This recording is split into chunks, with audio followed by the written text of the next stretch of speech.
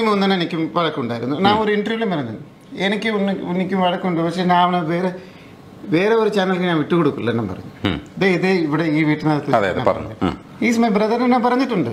പക്ഷെ അത് മാത്രം ഹൈലൈറ്റ് ചെയ്തത് ബാക്കിയുള്ള എല്ലാം ഹൈലൈറ്റ് ചെയ്തു. ആ മോടി വന്നിരുന്നു ഹോസ്പിറ്റൽ വന്നിരുന്നു. അതല്ലേ മനുഷ്യത്വം എന്ന് പറയുന്നത്? എല്ലാവരും വന്നിരുന്നു. അതേപോലെ അമ്മ ഓർഗനൈസേഷൻ വന്നു. ഇടവേള ബാബുചേട്ടൻ ലാലേട്ടന് പ്രത്യേകിച്ച് നന്ദി പറയുന്നു. എല്ലാ ദിവസവും ജക്കുസ്വാമിയെ വിളിച്ച് ഫോളോ ചെയ്തിരുന്നു.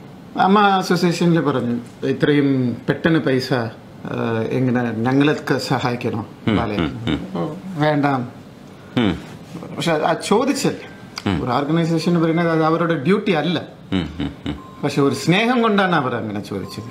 പോസിറ്റീവായിട്ടുള്ള ഒരുപാട് കാര്യങ്ങൾ സംഭവിച്ചു. ഉണ്ണിയൊക്കെ അവിടെ വന്നപ്പോൾ ഭയങ്കര കരച്ചിലോടുകൂടി അതിനെ അക്സെപ്റ്റ് ചെയ്യാൻ പറ്റുന്നുണ്ടായിരുന്നില്ല.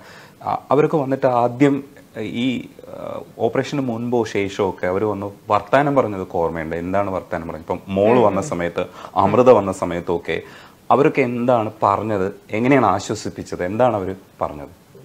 ശരിക്കും പറഞ്ഞാൽ എന്റെ മനസ്സിൽ. എന്റെ മനസ്സിൽ ഞാൻ അവസാന നിമിഷങ്ങളാണ്. എനിക്കൊരു ആഗ്രഹം ഉണ്ടായിരുന്നു എന്റെ മകളെ കാരണം.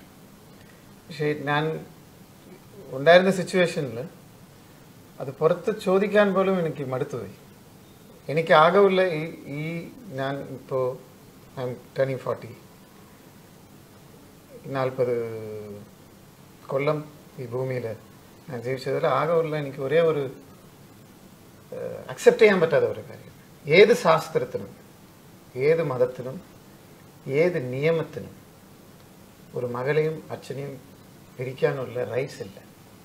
ഏത് മനുഷ്യനുമില്ല ശാസ്ത്രത്തിനുമില്ല ദൈവത്തിന് പോലും ഇല്ല അത് എനിക്ക് അക്സെപ്റ്റ് ചെയ്യാൻ കുറച്ച് വയ്യ.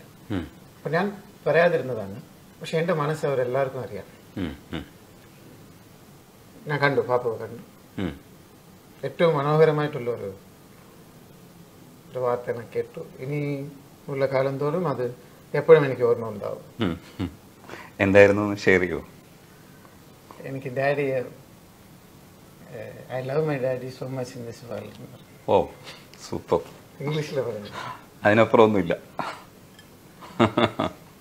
അതിനുശേഷം കൂടുതൽ സമയം ഞാൻ സ്പെൻഡ് ചെയ്തില്ല. Because I was going down എല്ലാം കുറഞ്ഞുകൊണ്ടിരിക്കുക. അത് കാണേണ്ടെന്ന് വെച്ചിട്ട്. എന്താ വേണം ചോദിച്ചു. എന്റെ ഓർമ്മകൾ പഴയ ഓർമ്മകളായിരുന്നു എന്ത് ബാർമി ഡോൾ ഉം.